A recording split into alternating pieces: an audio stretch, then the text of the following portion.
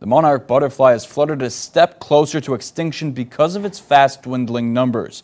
The butterfly is now considered endangered by the International Union for the Conservation of Nature. This is the first time the monarch has been on the endangered list. Loss of habitat, increased usage of herbicides and pesticides for agriculture, and climate change are contributing to lower numbers of the insect. A master gardener at Shiloh Museum says that the monarch is crying out for help. Monarch butterfly would tell us to take a hard look at what we're doing.